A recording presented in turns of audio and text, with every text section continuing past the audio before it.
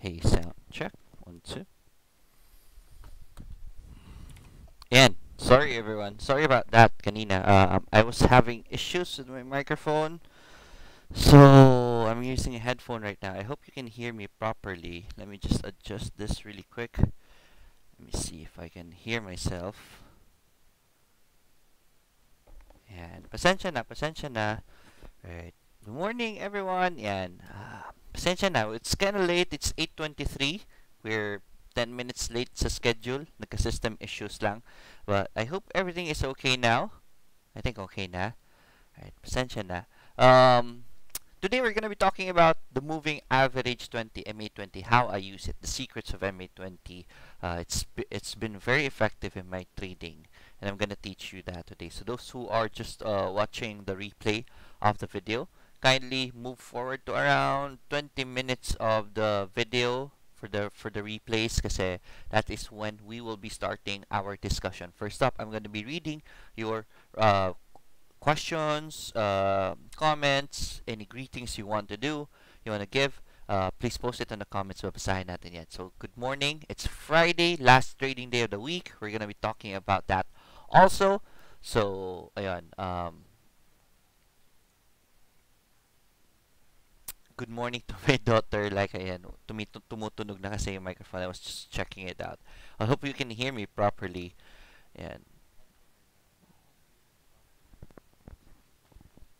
I don't think it's the same as uh, yung isang microphone ko but uh, at least this is working I hope it's well for you can you please comment if may problema kayo sa audio alright um, yan morning Sir Lloyd ayun mumble sir yan okay na alright let me just move it closer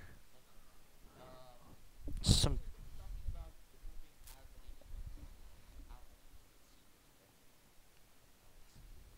I hope you can hear me properly. Please let me know if you have issues with uh, with the audio. Alright, anyways, uh, ayan, good morning to my daughter Laika. And we were, we were spending time yesterday kasi Christmas party nila yesterday. Ayan, um, I wasn't trading that much yesterday because the market was really red. But there are some stocks na tinitingnan natin. We entered a few days ago na lumilipad naman. Kahapon, nag all-time high si Jollibee. Right, JFC um, almost reached 310 yesterday right? Recommended Jollibee. Or remember earlier this week, right? Use a breakout strategy. Um, ang tawag dyan? Uh, it was uh, it was good yesterday, di ba? Um, the reason is I always tell you I don't see any reason why walang Jollibee support ninyo if matagal na kayo nagsisimula, right? Um, if hindi nyo nasakyan si Jollibee from 240, uh, yun, uh, there's some there must be something wrong with your investment uh, investment uh, bias that's why I've been telling you always uh, there's no reason why you don't have Jollibee in your uh, in your in your ports especially for investors okay um, siguro reason is medyo mahal na ngayon. But the past few days uh, why haven't been we been getting into Jollibee right? Again I taught you this.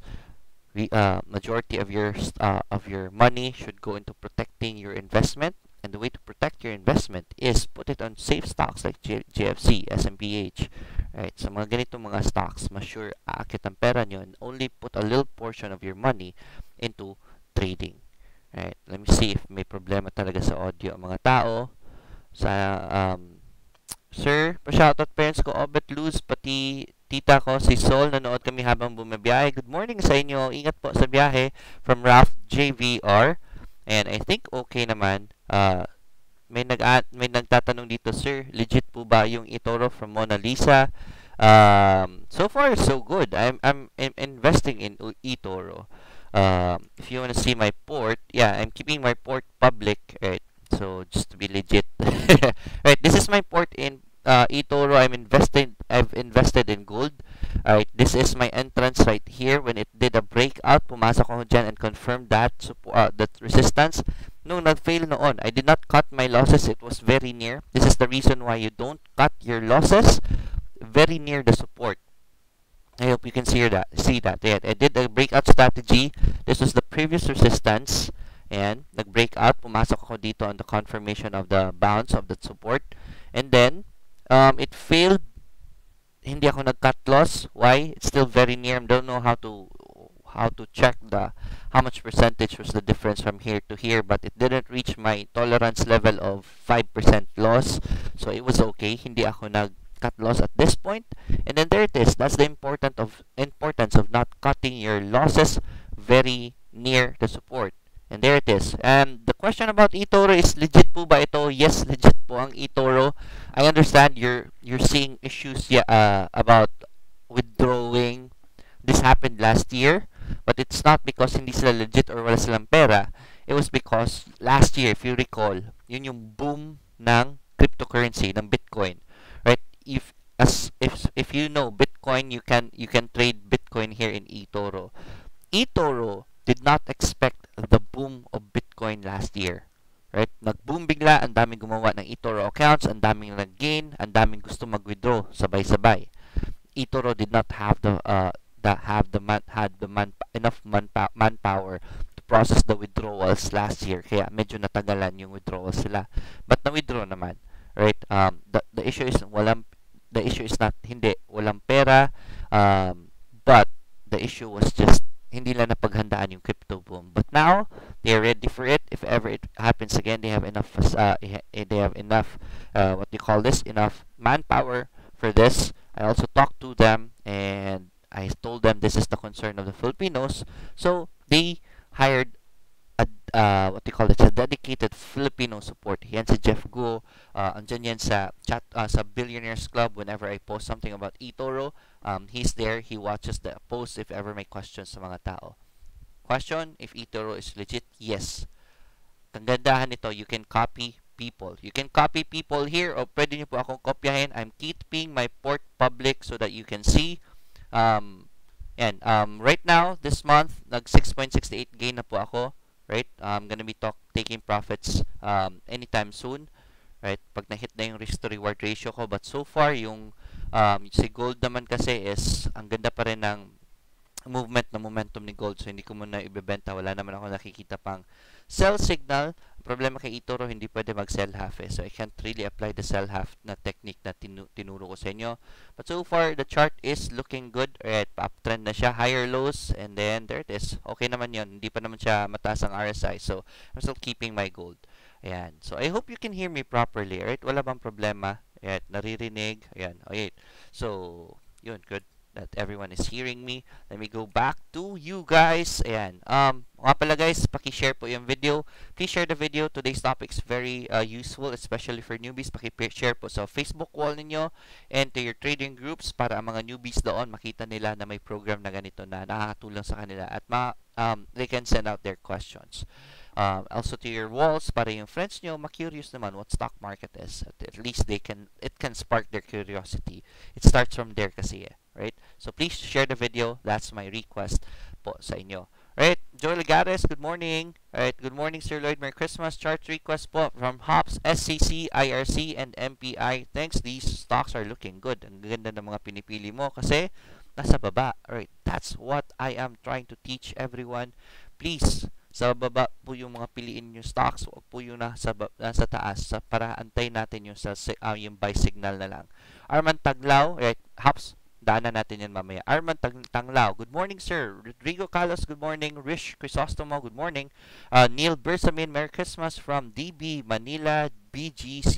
Ayan, good morning sa inyo Neil Bersamin and DB DB Manila G BGC. Hop sir, ano input nyo kay PHA? Pwede po ba magbodega? Actually, to, tagal ko nang um, recommend si PHA para magbodega. Eh. Let's check out PHA in a bit. Alright, PHA, yes, ang ganda ng company na yan. Alright, it's now involved in the build, build, build. Also, nag-open sila ng dalawang limestone um, mining plant sa Palawan. That's very good. Right? That's very good for their business. Then they have foreign buyers. That's a very lucrative business. Right? So, ang ganda ng movements ni PHA lately. Yes, bodega po kayo ng PHA whenever it dips, right? While it's really cheap as of the moment. Monet Lagman, good morning Sir Lloyd and like everyone. Um, Friday profit taking day, last day of trade for the year. Merry Christmas sa lahat. Not really last day of trade for the year, right? There are, um, ang walang trading days lang, 24, 25, 31, and As far as I can remember, those are the three days na walang trading. I believe may, may trading next week, yeah. Right. And it, Monday, Tuesday is uh, Christmas Eve and Tuesday is 25, so walang trading dyan. 26, 27, 28. Let me double check my schedules again, right? I haven't checked really my schedules. Ang, yun lang yung nabasa ko pa lang kasi. I'm gonna be double checking on that. I'm gonna be posting something in the, the Billionaires Club for that. If For those who knows the answer, please post it in the comments also. Trading days. Is this the last trading day? Ang concern ko lang is today is gonna be a very long weekend. Uh, um, so, most probably mag profit taking day ngayon. Baka bumagsak si market kasi ilang araw walang trading. So, be careful with your positions. Let's talk about that in a while. Alright? Um, Tristan Pucadas, good morning Sir Lloyd and Laika. Paki po uh, now and ISM. Thanks. Si ISM nagpo-pullback na naman kahapon. So, we'll check it out. Alright. Anyways, andun pa naman sa support si ISM. Nag-hold pa rin naman yung support eh. And now, the end is near. and see now. Dave Guapo Daddies, good morning Sir Lloyd and Laika. To my wife watching from South Korea. Yung asayo sa inyo, good morning. Alright, Dave Guapo Daddies is one of my students. Speaking of students, guys, join the seminar this December 29 right, sa Manila in Makati. Right, huwag niyo po sasayahin yung opportunity na yan. That's sponsored by 2Trade Asia. Pasensya na wala yung logo, logo ng 2Trade Asia dito ngayon kasi I'm using a different platform kasi I had system issues uh, kanina sa isang trading ano ko kaya na-delay tayo. Right, so I used a different one na lang. Um, December 29 po, Makati. Join that. It's gonna cut your learning curve significantly so that pagdating ng next year, market sentiments will be good. I believe so. It will be continuing going up kasi lumiliit na yung uh, lumiliit na yung inflation especially in December ang daming pera ng mga tao. So most probably babagsak yung inflation. Uh, magtutuloy-tuloy yung pag-akyat ng stock market. It's good that you will be taking advantage of the stock market instead on its bearish run. Hindi yung nangangapa pa kayo habang bullish yung market sayang yung panahon at pera uh, enroll nyo na lang po sa seminar ko. Those who cannot join the December 29 schedule, tomorrow and Sunday, I have a 9 in the o'clock in the morning seminar. It's online, it's a webinar. So kahit saan po kayo sulok sa mundo, I can teach you how to trade. And it's a very good seminar. Don't take my word for it. Um, tanungin niyo po yan si Dave Guapodadis and uh, my previous students. You can check out their testimonials doon po sa Facebook ko, Financial Freedom 101. Andun po sa ratings. Alright, Cassie, uh, John, Bisaya. Good morning, Sir Lloyd Pasuya po ng CLI, SMC, and SEC, P Gold, and RRHI. Let's check these out. Um, Vicente Jr. Datiles, Sir Lloyd, ano po kaibahan ng common share at preferred share? Very good question. Ang common share kasi, ito yung mga hinahawakan ng nasa tao sa stock market. Preferred shares are much more expensive. May mga special perks ang preferred shares. Right? So, priority sila sa mga dividends, sa mga ganon. So, mas mahal ang preferred shares. Common shares yung tinitrade natin sa stock market. Yan. Um, lesser perks, least, least priority tayo whenever uh, whenever there are perks on the stock uh, on the stocks. Well, I'm gonna make one more uh, a, a good episode about that, Vicente. Right? Pagandaan ko po yan para ma-explain ko po lahat sa inyo. That's a very good question. Junjun Catalan, good morning everyone. Good morning din. Um, my buntag Sir Lloyd and Laika from Kellen's Dagger. Uh, Claire Manzano, good morning everyone. Merry Christmas po sa lahat. Pa-shout out sa mga Palumpok South, mga taga Palumpok mga palumpok tuloy, mga taga Palumpok South, Cotabato. Thank you, Sir Lloyd, for being part of our daily routine. God bless you more. God bless you too. Merry Christmas po sa inyo. Alright. Claire Manzano, thank you so much. Amancio Akas, good morning, sir. El Razo, good morning, sir. Lloyd, and to your family. Insights kay MHC and EW po. Yan, um, the, the stocks are doing well. I hope nakapasok ka kay MHC. Uh, umaakit yun eh. I did recommend MHC a few weeks ago. Thanks. Very uh, Merry Christmas. Tingnan natin yan mamaya. Dana Angela, good morning, Sir Lloyd. Would you recommend TUGS for investor? I would recommend TUGS. Ang ganda ng movement ng TUGS and they're expanding into energy. Right? Pumapasok na sa sa energy sector. Meron silang power plant. I don't know if I should be disclosing that. I'm not sure. Right? Galing sa kaibigan ko yun eh. Right? Anyways, but yeah, they're they're good to invest in. Right? I'm also invested in tax. Yes. Pwede yan. Um, Joel Ligares, happy holidays to all. Yan, happy holidays po. Uh, Bernadette Abio, good morning Sir Lloyd. Good morning and happy holiday to my daughter Jadmin too. Ayan. Bernadette and your daughter Jadmin. Good morning. Annyeonghaseyo from Korea. Jaime Villaflor. Roland Jamela. Hamela. Bicor po. Ayan si Bicor. Guys, si Bicor, kung intraday trader kayo, pwede niyong pasukin and take advantage of the momentum. But if you're a position trader, please don't. Wag na po. If hindi kayo marunong mag-intraday trade or mag-momentum trade, wag niyo pong susubukan with your real money. Alright? If you wanna test it out, yes, test it with small amounts lang kasi out of position na yan. Anytime soon, we're expecting a pullback. So, pullback na lang tayo pumasok uh, when it bounces. Gazelle John Visaya. Sir, pasuyo din po ng TEL. TEL is in my recommendations pa rin today. AC, yan, si AC din, nasa recommendation ko today. MPI, MEG, RLC, and GT Cap. Si GT Cap, nag-breakout eh. Right, you can check, test it out. Let's check out GT Cap's chart in a while. Right, um, AGI din po, actually, yan po, uh, yan po ang port ko as investor. I believe na fundamentally sound process. These are very good picks, right? Together with CLI. Yes, these are very good picks, right? Uh, investor ka sa mga stocks na ito. That's good. I hope nag-average down ka when the bullish market started. Sila AGI, patuloy-tuloy-tuloy na yung pag-akyat. Even, uh, G even GT Cap. Sa CLI, let's check out CLI then later. Uh, CLI is a very good company. Um, kaso nga lang, sentiments lang ng market is bearish right now with CLI. So, antayin natin yung reversal niya. Bodega lang. Angelo Rubia, sir, nagsiset ba kayo ng time, time stop if ilang days hindi pa rin mag-materialize bias nyo? Thank you po. As much as possible, I don't, Angelo. Right? As much as possible, I don't. Right? Um, kaya ginagawa ko is test buy lang kasi at least may pera pa akong pang test ng others. Right? Um, hindi ko mo i-all in dito para hindi maipit ang pera ko. If I see another stock and um, maganda rin siya at maganda yung position, um, I'm gonna use a portion of my money to to buy on that uh, to buy that stock and then unahan na sila. Sinong unang mag-uptrend um, yun ikikip ko, ibebenta ko ito at ililipat ko doon to buy more of that stock on the uptrend um, buy position. Right? So, ganun ang ginagawa ko. As much as possible, uh, yun ang iniintay ko. Right? I keep maximum tolerance. Hindi ko po gagalawin yan as much as possible kasi I know you've experienced this. The moment you sell the stock, dun siya lumilipad. So as much as possible, provide uh, maximum tolerance on your stock, right? Nangyari yan sa kaibigan ko kay sa Vul, right? Um, nainip siya kasi haba ng ano, haba ng consolidation ng Vul, 'di ba? Then uh, uh, when he sold it, two days after lumipad si Vul na napakataas, right? So sayang, right? So ganun. Uh, Angelo Rubia, Um, Julian Ong, good morning sir. STI po. Thank you. Right, uh, we'll write down STI. Gumaganda ang position ni STI. Right, did recommend STI on the entry point sa baba. Right, good thing. Pumasok kayo doon. Let's check it out if pwede pa bang pasukin ulit ngayon. Raquel Necessito, good morning Sir Lloyd. Ayan, good morning din. Unes 62. Uh, kailangan na natin ng ISM Internet sinasabotahe live stream ni Sir Lloyd. Mumble, sir. Okay na, sir. Right. Good morning, sir. Lloyd, see you in Makati on the 29th. John Paul Antolin, yes, see you on the 29th. Right. Um, Casel, John Visaya. Sir, kailan po safer pumasok kay SMC? Let's check out SMC. Ayan, right. This is a very good question. Let's check out SMC. I'm gonna share my screen. SMC. Right, tanggalin ko lang ito. Tanggalin ko ito. And let me go full screen. Um, load ko lang ang chart ko. SMC. Ayan, si SMC. We're just waiting for the bounce. This is an engulfing pattern. Right? This is an engulfing pattern. This is very good. Right? I love this pattern.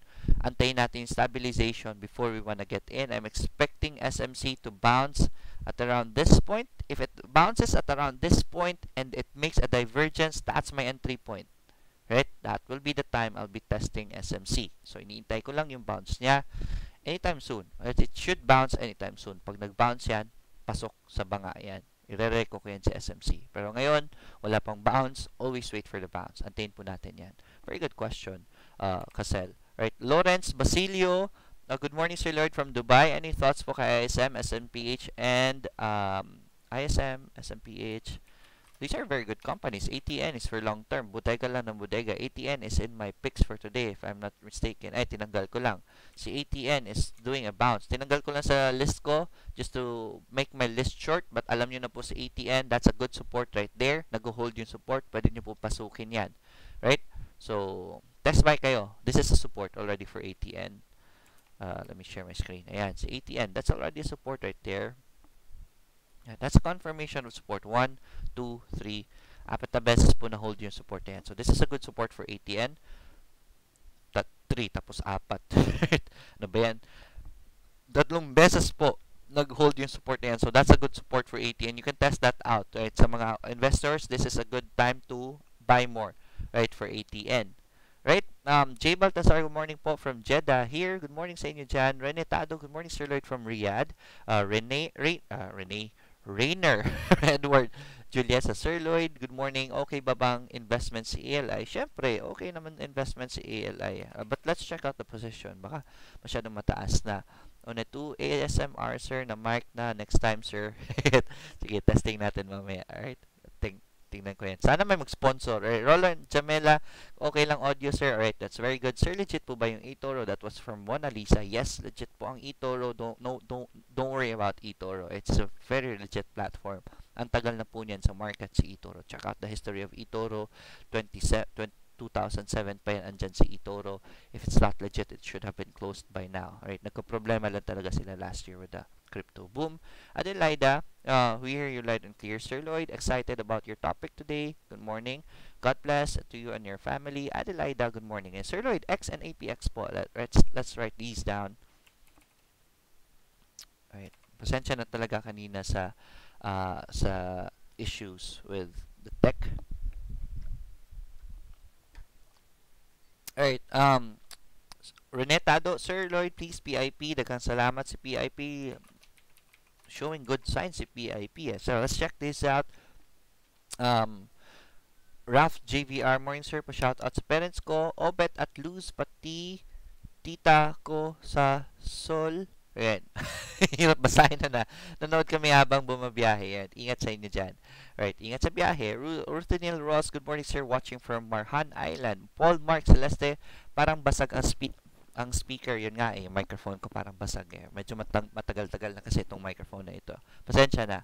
Good morning, Sir Lloyd. Howdy to all Zamboanga traders. Bakit uh, kaya tulog pa si MRP?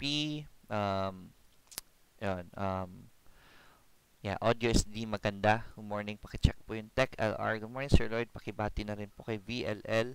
Right, thanks po. Norberto Balatbat, yan. Tingnan natin si VLL. Alright, I'll stop here muna. Alright, we'll go to our topic and then um, puntahan natin ulit yan sila. Right? Costco and VLL ATN. VLL, Costco.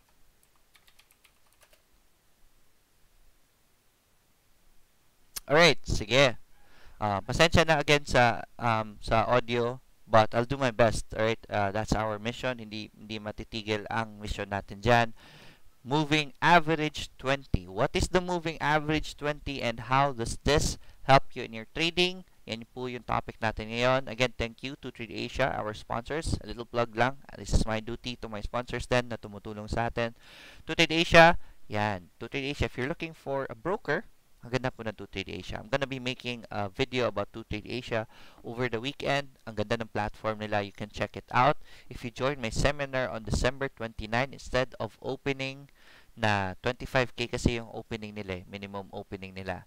Right? Instead of 25k, you can open an account with just 5,000 pesos. That's the perk of joining my seminar. So, join my seminar, maka-open pa kayo ng mura kay Tutrade Asia, and then, that's worth it. It's really worth it for your trading. So, check out Tutrade Asia, tutradeasia.com if you're looking for a broker na mabilis, and if you're always outside, if nagda-drive kayo, or may trabaho kayo, or may negosyo kayo, I will recommend Tutrade Asia kasi may mobile app sila for trading, right? At least sa mobile phone yun nyo, makapag-trade po kayo right? So that's our sponsor, eToro then Check out eToro. Pinakita ko po sa inyo si eToro kanina, right? May may may link po ako sa eToro diyan sa baba, right? That's the link to my what they call this, link to my uh to my what they call this. Ah, nawawala ako sa ano ko. Basta, may link po dyan for eToro. That will help me in return. If you create an eToro account, please use that link instead. Right? Wag po yung dediretso kay eToro. Right? Kasi natutulungan ako ni eToro that way if you use my link.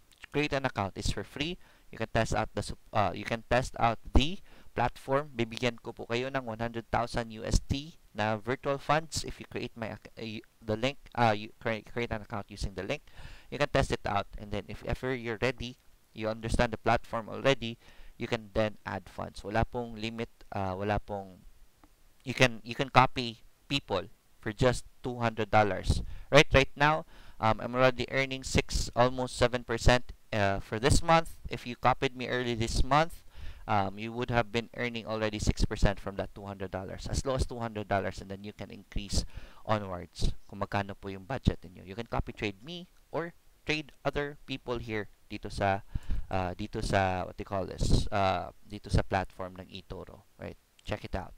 Um yan MA20 what is moving average 20 on your charts uh, tanggalin ko lang si Bollinger Bands si RSI I'm gonna go full screen. Pakita ko po sa inyo paano ma-pull up si MA20. So, just go to indicators, right? Then, go to moving average right there. And then, it's a blue uh, it's a blue line. I'm just gonna edit the color of the line. Settings right here. Right. Gawin po nating yellow para mas klaro and then pakapalan po natin there it is. That yellow line you're seeing on the screen right now, that is the moving average 20, right? Moving average 20. What is moving average 20? It's the average of 20 closing prices ng stock. For example, let me go to line graph right here. So this area right here, nag-close ang price is 1.51. The moving average during this time is around 1.44 because this is the average of 20 closing prices right? This is the average of 20 closing prices right? So yeah that is the moving average 20 right? You can move you can edit this moving uh, oh no this is MA9 you have to change this to 20 first. By default 9 yung lumalabas you have to change it to 20 first by clicking on here dito sa taas upper left click on the format, yung, yung gearbox dyan, and then change the length to 20. So, this is the MA20 now. Kanina, by default, it is at MA9. That is for 9 days na average. I use, uh, you have to move it to MA20, right? MA20 na siya ngayon. That's the MA20 now. So, this is the average of 20 closing prices, right? Now, that's MA20. Right? Simple as that. That's, the, that's moving average 20 kasi nagmo-move siya every day whenever something closes. Nagmo-move rin siya yung buntot niya sa MA20, nagmo-move din kung saan siya nag-a-average. That's why it's moving average 20. Now, how do you use it for your trade? I use it with my Bollinger Bands. If I show up Bollinger Bands, parehas lang ng linya yung yellow. Tingnan nyo. Kung makapal yung yellow, tit, tit, tit, it. Yan. So, simple, same linya lang. So, if you pull out Bollinger Bands, automatically, it pulls out MA20 also. Right? The default of Bollinger Band is, eto nasa upper left, that is 20 and 2. Right? The length is 20, that's moving average 20, and multiplier niya is 2, meaning that's 2, um, what do you call this? Dalawang deviation from the MA20. Right? That, that's a different topic naman. We'll focus now on the MA 20 Alright, so how do you use MA20 for your trade? Mm. I use MA20 as my short-term trend indicator. Short-term meaning mga weeks to weeks to a month lang ang trading ko, right? If I enter the stock, I usually just hold it for a week. Depende. If, as long as uptrend pa siya, actually, as long as MA20 holds. For example, ito si ATN. Look at this right here. So, right now, si ATN, uptrend now, we're seeing a higher low. This is a good support for ATN let me remove um, MA to, uh, let me remove Bollinger Bands. So kahit support lang, this is good price action here at this area right here. So somehow it's forming a support at this area. right? Sorry. So I'll draw a line there. Dito muna ako. Look at the trend of ATN. Initial entry, where does it bounce? MA20. Usually, right, most of the time, um, sa observation ko po, MA20 ang pinaka magaling manghula ng bounce and the trend. Look at this right here, dito sa baba. I'm gonna zoom in here. Nag-uptrend siya. Look at where it bounced at MA20. And then after bouncing at MA20, nagtuloy-tuloy na po siya. the moment it broke MA20, it changed its trend. Iba na yung trend. Tapos na yung uptrend, bumaba na siya right here. So now it's forming a support. I mean, before that support, we, this is the lowest point, right? And then nag-bounce, and then it broke MA20. This, whenever MA20 is broken and closes above or below it, that means the trend has changed. This downtrend most probably is finished, right? Is it right? Nag-bounce siya here. So, tapos na ang downtrend doesn't mean na uptrend na siya. Pag tapos na ang downtrend, it can go sideways or uptrend. Right? At least tapos na ang downtrend. It, it was right. Right? Wala nang downtrend. It, we're seeing higher lows already. And there it is. Broke the MA20 again. So we know that the trend has changed already. And now, it is showing us a higher low. So this was the initial entry point sana natin because it formed the support. This is a higher low. That's a confirmation of a high, uh, possible uptrend. And there it is. Umakyat siya after that.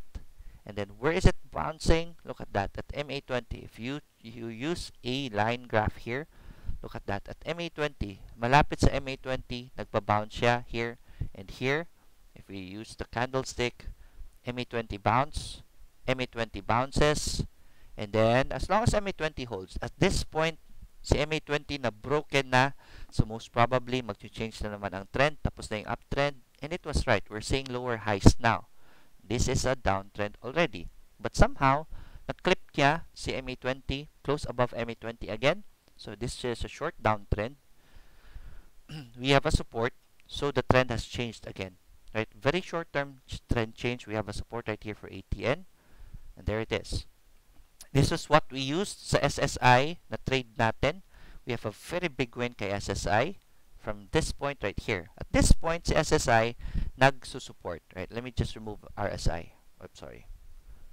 Right? So here, um, SSI at this point is forming a good support.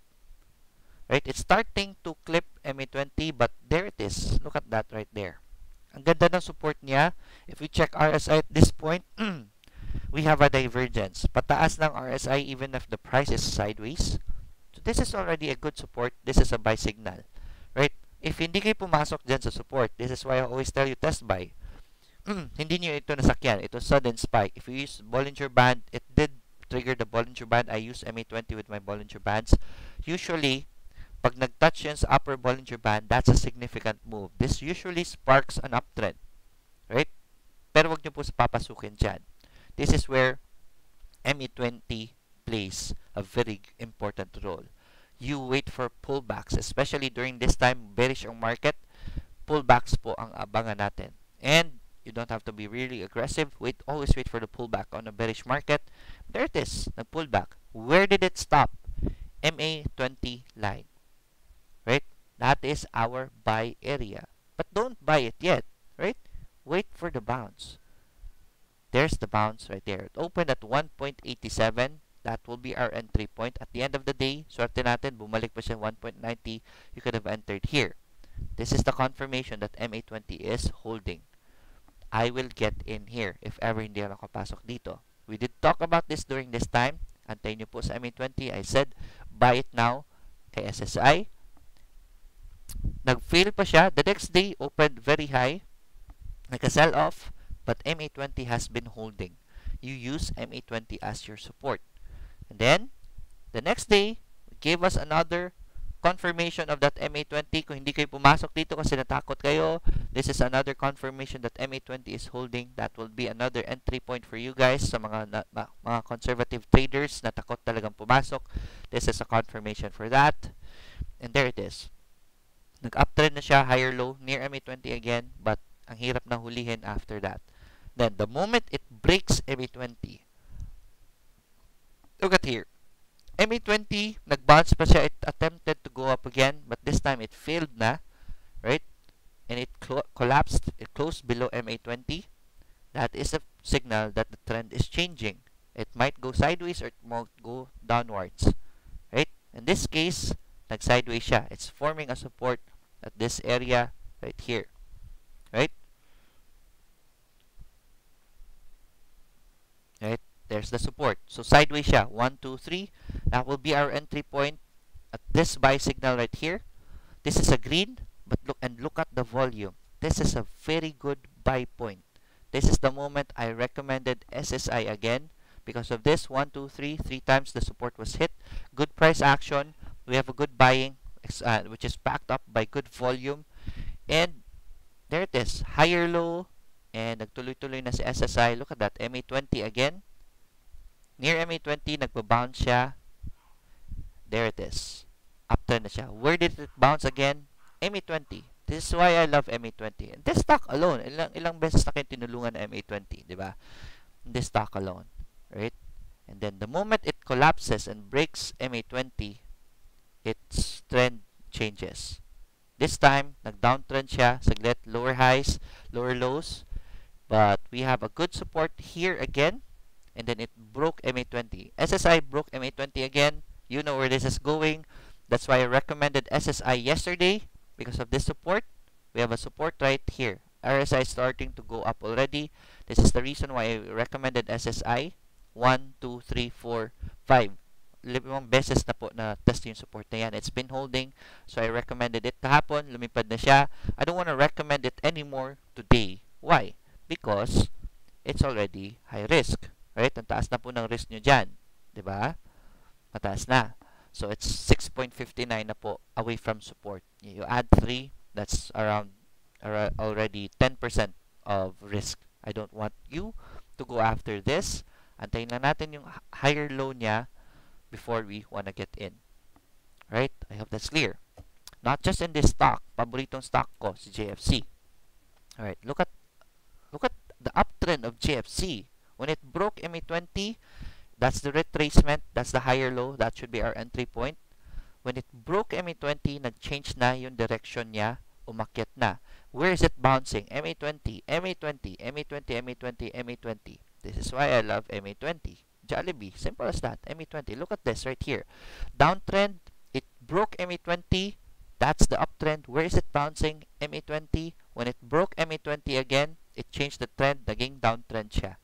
Right? So, this is why I love MA20. Right? Not just GFC, marami pa. Um, ang mga sikat ngayon, si FDC, ang laki na ng akyat ni FDC for how many days.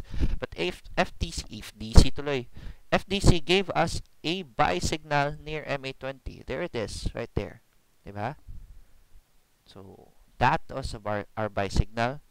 Bollinger Bands, FDC, this is the calm before the storm. Lesson ko po sa inyo yan sa Bollinger Bands. And there it is. Tumuloy-tuloy na si FDC. Ang hirap na habulin dito. So we wait for it at MA20. When it went near MA20, ang hirap lang. Medyo malayo-layo pa eh. But already the price action was already there. So it would have been a good entry for FDC. And then tumuloy na si FDC for 3 days. But yeah, MA20 has been hold um has been has been helpful for us. Si LR, si LR, uh, kahapon very strong bounce of LR after clipping the upper Bollinger Band. Ito yung sinasabi ko sa inyo. Huwag niyo pong habulin sa Bollinger Band. Antayin niyo po yung pullback. Stabilize at this area. Made a support. Right? MA20 bounce. Very massive volume yesterday. I don't want to recommend LR today because medyo mataas na ang risk. Right? ba? Diba? Negative 5 na kayo. Best entry was yesterday at MA20. Test it out. Hindi naman uh, hindi naman 100% sa MA20 gumagana, but usually, nagbabounce dyan. LR, LRW, same. Siguro, blue chips rin. Uh, let's try another blue chip. Look at that, right there. Saan siya nagbabounce? MA20, right there. MA20, right there. Right? The moment MA20 was broken, right, nagsa-sideways na siya, that was a good support. This was the time I recommended AEV. Right? Nirecommend ko sa AEV during this time. And then there it is. Nag-akyat na best entry point at this point. Huwag nyo habulin sa upper Bollinger Bands, MA20, taas, MA20. Bollinger Band trigger, MA20, Bollinger Band trigger again, MA20. Diyan po nyo, diyan nyo po sasaluhin. Right now, it did close below MA20 but nag-recover naman kaagad siya for AEV. But yeah, that's the beauty of MA20. You can use MA20 as your support. This can also tell you the trend of a stock if ever uh, ang direction niya is tulad nito, paakyat na, that means the stock might be going on an uptrend. It is, right? Then the moment it looks down, most probably it's gonna be doing a downtrend and there it is, nag-downtrend siya. And then, the moment it looks up again, but um, titingin na naman siya sa taas. Right, the moment it starts looking up, antay natin. Starts looking up, uptrend na siya. There it is. So, antayin lang natin yung retracement niya. There it is. MA20, antayin yung bounce. There's the bounce. That's your entry point. And there it is. MA20. That's the beauty of MA20. I use it as part of my trading. I use it with Bollinger Bands. I use it with RSI. Right? Ang laking tulong po nito ni MA20 with the RSI. During this time right here, meron tayong RSI divergence. But anyways, lagi ko naman tinuturo sa inyo yan. That's MA20. Do you have any questions about MA20? Please post it on the uh, on the comments. Tignan ko po yan before natin pag-usapan yung mga recommendations ko. Today, um, tingnan natin. BPO feels uh, BPO feels ka ulit Sir yung nga eh, naka-headphones na naman. Tech nga po, bullish divergence spotted. Yes, tech has been showing us good uh, good ano, good spots or or depende sa time frames. Based on your observation, sir, pag nag-lower ang price sa MA20, usually it does continue going down. Does it does observation depends on the trend? Bullish or bearish? Usually pag na, na nakiklip yung um, MA20, nag-change yung overall trend niya. Um, usually like example this one right here um, alright so we have a downtrend possible downtrend here but this clipped the the ano this is a possible downtrend but this closed above the MA20 so usually change yan for the short term even for a week right this time it failed the support but and nag sideways siya at least nung na-clip niya MA20 so the, the the trend changed from a downtrend to a sideways trend we don't know when this sideways trend is gonna do a reversal. Maybe it's gonna go down further, maybe it's gonna go up.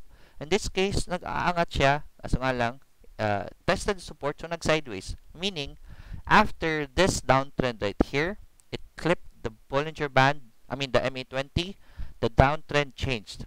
Changed to sideways trend. We don't know if it's gonna go on an uptrend or still continue the downtrend. That's why we try, try to test if we see a support.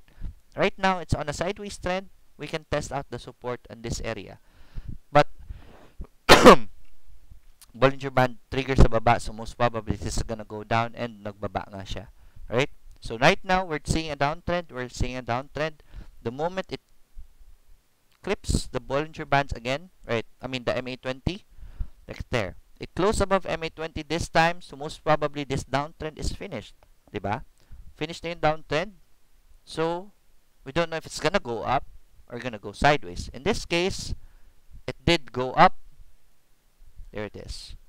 Diba? When it clipped MA20, the trend changed. Ito naman, diretso siya nag-uptrend after clipping the MA20. We don't know if it's gonna go on an uptrend right away or if it's gonna go on a sideways trend.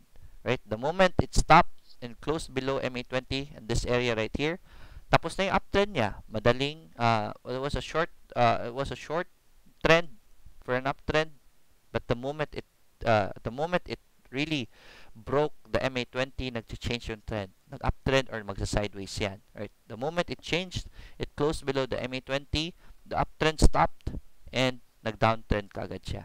Right? It changed again here. From this downtrend, when it closed above the MA20 so most probably this downtrend is finished and we don't know what the trend is gonna do let's see this time it made it went sideways and then clipped the upper uh, the MA20 again there it is sideways na siya right so now we're just waiting for it to change the trend the Bollinger Band told us na yung stability na ito has been finished at may nanalo na, most probably it's gonna go on an uptrend. There it is. That's why I want you to test out the support before this uptrend happens. Kasi minsan, pag nangyari ito, magtuloy-tuloy na pag-akyat, hindi na kayo makapasok. Kaya, testing nyo po yung support. We have a good support right here for good company. We have a divergence. Ang ganda po ng support na yan. That's where you test it out. And then, there it is. Sorte natin, bumalik pa siya ng konti. Price action wise gumagawa na siya ng support at this area. So it's it should bounce anytime soon. It's still very near support. And there it is. Uptrend na siya. So yan just to be clear again all right? Um good aim sir, and take mo kay CHP, makarecover kaya dahil bukas na planta nila dyan sa Cebu. Um, Jeter, Calope, actually, yung planta nila sa Cebu, matagal nang bukas yan, na-suspended lang because of the landslide. But they've been losing money even if bukas pa yan noon. So I can't really say if mag-recover na yan si CHP. Right? But tech, um, technical analysis wise, so far so good naman. Okay naman ang ano, okay naman si uh, okay naman ang galaw ni uh, CHP. Good aim Sir Lord, medyo distorted lang sound niyo. Pasensya na, my headphones has been ano, is ano, backup ko lang po kasi itong headphones ko, yung microphone ko hindi gumagana. Um, MA20 times MA50, sana next lesson Sir Lord Abner, yes. Yes, gawin ko yung lesson sa susunod. Right, saan po consider MA20? Is it sa body ng candle or sa uh, wicks ng candle? Thanks. Junjun Katalan, very good question. I I consider the bodies, hindi lang yung wicks kasi um, whips lang kasi yung uh, wicks eh, right? I always consider the body of the uh, of the ano of the of the candlestick. Very good question. Right. Any thoughts on Pheasant Web, Tech nga bullish divergence spotted? Right. So that's our topic for today. I'm gonna go now to our um Fuentes Kid Rock. Are you are you having issues with my audio? Right, I think uh, medyo distorted distorted lang. Sorry, sorry Fuent, uh, Kid Rock. Yan. So let's continue. I'm gonna go now to my picks for today. Ang bida natin ngayon sila ABS-CBN. Ang gaganda ng mga positions for a very good stock. ABSP, Number one, ABSP, recommending ABSP today. Swerte natin ito. It's forming a support right here at this area. Right, um, grabe ng divergence yan. Pababa ang presyo, but RSI is already going up. That's a good support. That's a good bounce. That's a good volume. Right, test out this support right here. Your risk is only, uh, the support is only 2.68% away from support. So more or less, nasa 6% yung risk ninyo dito. That's a tolerable risk. This is a very good price for ABSP. Look at that. 1, 2, 3. Tatlong beses na po yung support na yan na i-hit. And it's been holding. And when it, that support is, is hit, each time that is hit, we have a divergence, strong divergence for ABSP. Huwag niyo po sasayangin yung bottom na yan. Very obvious bottom. ABSP. Pasukin niyo na po. Test buy niyo na yan. Right? ABSP. Next is TEL. I'm still recommending TEL. Umakit na siya for 2 days. I've been recommending it here. And huwag niyo po sasayang support. Right? Um, I'm recommending TEL still kasi maliit pa rin ang risk niya. Lumalaki niya ang risk ninyo by the day. It's now 3.68 pero hindi pa huli ang lahat. Right? So, pwede pang pasukin si TEL. Um, habang maganda pa yung position. Lopez. Ayan. Si Lopez still part of ABS. Ayan. MA20. There it is. The bounces at MA20 with uh, backed up by volume which is increasing. So maganda na itong position na ito for ABSP. I mean, Lopez, this is a good position. Pwede nyo pasukin yan. Lopez has been giving us good numbers. Third quarter, plus 55%. Maganda. Second quarter, plus 81%. They are giving us good numbers. First quarter nga lang lang, medyo negative. But it's they have already recovered. So this is a good position for LPZ2. MA20, kaka-discuss kaka lang natin about yan. ABS itself is a good company, right? ABS CBN, right? Showing us a very good support right here, right? Support here. Um, presyo was going down, but RSI is already starting to go up. We have that support area right there. Here. So, you can use MA20 or kahit dyan lang support na yan. Look at this right here. Ang risk ninyo is negative 3% on from the main support it goes here, negative 3% from the main support. So, napakaliit pa rin ang risk. You can test out the support. You can bargain kung, kung lalapit pa yan dyan sa support. That will be good. Or, wait, uh, you can use a breakout strategy. Pag nag-breakout yan, pwede nyo pong breakout ang gamitin. At least maliit yung risk ninyo.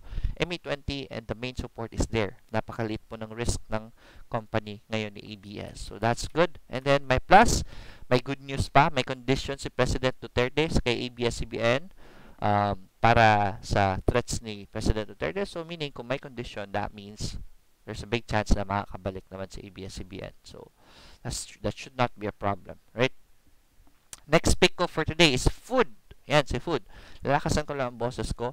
So, just so makarinig po kayo na maayos, pasensya na po. Pag na-trigger po, madagdag na kasi di po nag-test by sa MA20 po. Di di nakapag-test buy sa MA20 po, huwag niyo pong papasukin. Um, I think this is what you mean. This is from Sadako Paraon. Right, if ever hindi kayo naka-test buy dito sa support and then if it goes up and then breaks MA20, dun kayo magdadagdag. No. Wait for the retracement and bounce before you wanna get in. Right? Huwag niyo po nag dito sa baba. Look at this right here. Dito sa baba, hindi kayo nag-test buy sa support. ba? Kay food. Nag-break siya ng MA20. Dito kayo bibili? No, that's wrong. Wait for it to go back and make a bounce. That's our entry point for food. Bumalik ulit siya and then nag-bounce. Antayin niyo po yung bounce sa baba as much as possible. Don't be aggressive. Huwag niyo pong papasukin sa ganitong posisyon na, uy, gikan galing sa baba, hindi ako naka-test buy. Uy, nag-break na MA20, buy more. Patay kayo. Right? Ipit kayo kaagad. Right? So, wait for it to bounce again before you wanna get in on that MA20. Um, Kjun Pio, hello Sir Lloyd, pwede pa suli, silip si eh, IRC and FNI. Let's check that out in a while. But eh, today, si Food, recommended ko si Food ngayon, has been holding the support strongly. That's a confirmation again after this doji. You can buy Food. Ang ganda po ng numbers ni Food. Third quarter plus 556. Second quarter plus 436%. That's amazing numbers, right? First quarter plus 930%. Amazing numbers for this year sa food. So, yan, test din po yung support na kay food. Ang ganda po ng projection kay food right, as a company. Next up is DNL. I'm recommending DNL today. Good volume yesterday. We have a higher low bounce for DNL. The volume should be backing it up. That's good support. We'd recommend DNL here. There it is again. That's a higher low for DNL you can get in DNL habang mura pa si DNL. Ang ganda ng company na ito. DNL should be a company you be, you will be getting into. Right? Possible umakyat na naman yan. Next sa DNL, sa picks ko for today, last lang si AC, Ayala Corporation. Still recommending AC. After yesterday, nag-confirm ng support. And there's that confirmation right there. It's backed up by healthy volume. So, this is a good bottom to invest in kay Ayala Corporation. Napakamura pa ng presyo na yun for AC overall sa pwede niyang iakyat. Right? So, AC, I'm recommending AC for today. Very good support. Right? So, those are my picks for today. ABSP, Tel, Lopez, ABS, Food, DNL, and AC. I'm to put it on the comments. Now, I'm to go to your uh, what you call this, sa mga ano ninyo, sa mga request ninyo ngayon. SEC, tignan natin si SEC, kamustahin natin. So somehow SEC um, downtrend pa rin eh. Not seeing any stabilization yet for SEC. Somehow it's this support is holding. Antayin lang natin yung bounce. Hopefully maggawa siya ng sideways support. Uh, but right now, ayun, maganda naman pala yung divergence ni SEC. Yeah, right? SEC has a divergence here. Ang ayaw ko lang kay SEC talaga is, we discussed about this. Sabi ko sa inyo, the, one of the reason, um, one of the best factor na makakatulong sa stock ninyo na tinitingnan is the third quarter earnings on a bearish market. So, third quarter earnings, look at this, negative 79% si SEC. That's a significant number. Kaya ayaw ko i-recommend muna talaga si SEC. We might be seeing a stabilization here soon, but I'd rather not put my money there. I really can't recommend SEC as of the moment, right? So, ingat lang muna. Hantayin natin gumawa ng support. Pag gumawa ng support yan, maybe we can test it out, right, for SEC. But right now, wag lang muna. Tsaka red pa naman yan. Right, um, um, yan, may mga request. Uh, daanan natin yan later. Hopefully, ma we still have enough time para ma-cover natin ang lahat. Okay? Pasensya na if hindi ko masasagot lahat. IRC, um, we are seeing a good support kay IRC at this area. Right, so dito sa area to ito, nagba-bounce si IRC. Sometimes it did clip bottom. Right, we have a secondary support here. But so far, this support has been holding. So, SEC, IRC, um, antayin natin mag-bounce si IRC. Wait for IRC to bounce before we really wanna get in IRC. Somehow, we're seeing a downtrend pa kasi kay IRC. Eh. So, konti ingat lang muna you can test out supports. Wag lang mag-all in sa supports, okay? Um, IRC is definitely good for medium term lang muna siguro with the projects nila sa sa sa Subway. Hindi pa kasi natin nakikita yung numbers na yung performance ng numbers ng Subway. Usually mamaya pa pag lumabas na yung uh, lumabas na yung mga numbers ng earnings nila before umaakit si aakit isang stock like si ISM. Hindi ko pa ina-expect na lilipad yan si ISM kaagad, which is good kasi makapagbodega pa ako na mas mahaba-haba. The moment IS, uh, uh, ISM shows good numbers already on their third telco project, then uh, that's usually when the stock prices go up. So right now, nag-iipon ako ng nag-iipon habang mura pa for ISM. Right. So SC, IRC, MPI, MPI. Let's check out MPI. Yan, si MPI, price action wise, okay naman yung price action niya. The buying is already at a higher level. Kaso alam pula pa lang talaga. I really can't recommend this yet. Baka bumaba pa eh. If you really want to get in MPI, try to get uh, get in on a breakout. Pag nag-hold yung breakout from this um, short-term downtrend ni MPI, that should be a good entry point. We are seeing a support right here for MPI. Right, so one, twice, three times a lady. right, so antayin natin na uh, um, pwede dito sa support or wait for the breakout lang for MPI. But overall, napakaganda po ng presyo ng MPI. Anytime soon, maihinog yan si MPI. Titingnan natin yan every day si MPI. Pag nas, may, may mag-breakout yan, papasukin natin yan si MPI. PHA. Right now, wag lang muna. You don't have to be really aggressive, especially year-end na um, wala pa yung foreign buyings pa rin. Wala pa rin yung foreign buying. So, it's really not time to be aggressive yet. So, here, um, PHA, very good question. Si PHA did clip the uh, Bollinger Band uptrend niya. Um, here, nag-fail yung MA20. So, we're looking for PHA to clip support again. Right, support is here. Yan, andyan yung support niya. So, antayin natin yung bounce before you wanna get in PHA. But definitely, bodega po kay PHA. This is a very good company. Ganda po ng mga projects nila yun. This spike right here, you're seeing, that is because of the, um, uh, ano yun, the, the two mining companies that they bought for in Palawan. Yung project nila na nakapasok sila sa build, build, build dahil dyan. Uh, sir, ilan na shares nyo kay SM? Kung okay lang, I still have 100k uh, shares kay uh, kay ISM. Inawakan ko po yan. Actually, nung simula, may tinatrade ako na other half ko kay ISM. I've already sold half at the top. Yung isang kalahati ko, hinohold ko na lang yan. Right. Um, asa na ako? The, the question first was from Manuel Kadaing. Uh, Sir Lloyd, good morning. DT, MAC, MRC, ISM, Bcor. Medyo marami-rami yan. Unahin muna natin yung mga, ano, yung mga uh, naunang questions. Right? ISM, ito, si ISM. Uh, ISM somehow is showing us a very good price action. So, nothing to worry about ISM. Ganda pa rin ang price action niya. It's still upwards. Pataas pa rin yung price action ni ISM. So, nagko-consolidate lang siya. Most probably, it's gonna, um, it's doing a triangle right now. So, maybe it's gonna pop up or Inaantay lang talaga yung January 21. But the point is, I'm an investor here. I'm recommending ISM for investing. Right? Especially pag maganda yung takbo ng ano nila, at least nakapasok tayo dito. Same story with other stocks, sila TEL, noon, shaky pa yan, and then they went well, kaya lumalaki yung stock nila ngayon. Same with Globe, yan. Every, every stock, stock uh, starts as shaky, right? We are betting not on the current um, price value of ISM as in tinitingnan ng mga tao, uy, tres binili ni uh, Udena si ISM. So, most probably 3 pesos daw ang presyo nito. Right? If it's 3 pesos, then good. Kung bababa man yan, then good. I don't think it is because we're looking at the future value of ISM. That's the reason why we invest in a company eh, for the uh, future of the company, di ba? And ISM Udena has a very good future as a company. That's why I'm recommending ISM for long term. Next is Now. Um, kay ISM, bodega lang po kayo dito sa support na ito. Ang ganda po ng support na yan.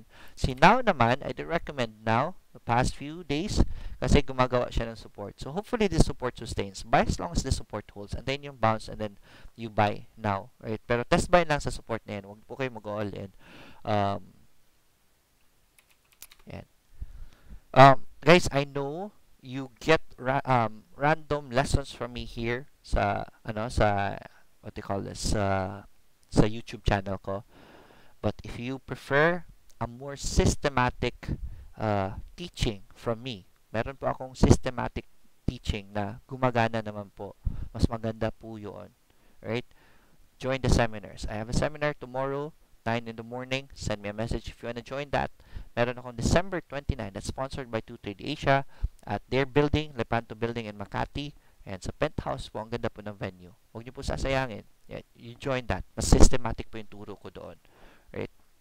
Um, next up is now CLI. Ayan, the CLI, somehow the support is holding. So this is good for CLI. I really want this support to really be, uh, what they call this, to really hold longer.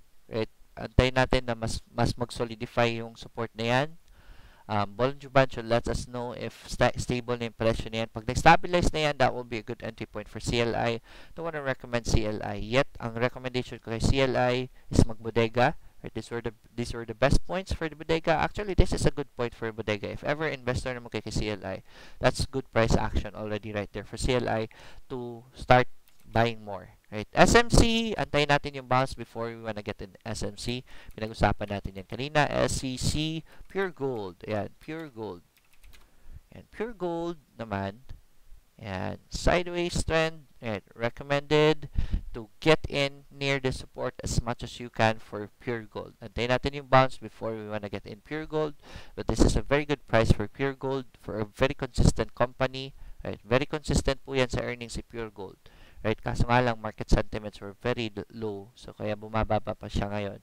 Right now, napakamura pa ni Pure Gold. So, you can test out Pure Gold if you want to on the bounce. Antayin niyo po yung bounce and test out that support. Next is RRHI. Si RRHI is forming a flag pattern. So, konti ingat lang muna. If you really want to get in RRHI now, you can wait for the breakout of that flag pattern right there. Pero kung hindi po siya mag-breakout, antayin niyo po bumalik ito sa MA20 and then bounces at MA20, that will be our entry point sa entry sa MA20 niya, sa bounce sa MA20. It's 924 so last two stocks na lang. Pasensya na if hindi ko po ma sasagot lahat. MHC, ayan. MA20 bounces for MHC. So, this is good for MHC. Kaso nga lang, may nakita akong weakness sa trend ni MHC.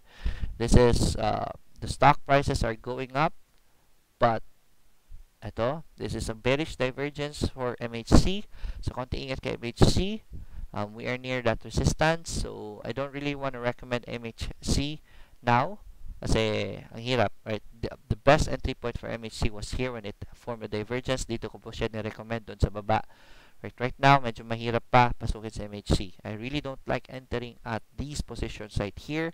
Nakikita nyo naman po sa mga recommendations ko. What I, wrote, what I usually recommend is andito sa baba. Mas maganda po yun na trading kaysa naghahabol kayo sa taas. And lastly, sa MHC is EW. Yan, si EW, ayan, nag-doji lang si EW, but that's a breakout. Breakout strategy ka pa rin kay EW. Volume is still there. So yeah, use a breakout strategy for EW or get in near MA20 as much as you can if ever mag-pull back man siya. Right, so that's it for today uh, it's gonna be a long weekend. So enjoy your weekend, everyone. Um, Christmas na next week. So for me, for my daughter Laika, Merry Christmas po sa inyo. Enjoy your holidays. Yeah, spend time with your family. Wag po puro trading ang iniisip natin.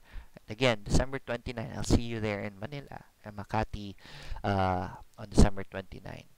Thank you po. Thank you po. Enjoy your weekend. I'm gonna be making a video over the weekend para mapakita ko po sa inyo yung platform ng 2Trade Asia. That's it for today. As always, let's get rich together. Happy holidays. Bye-bye. From Financial Freedom 101.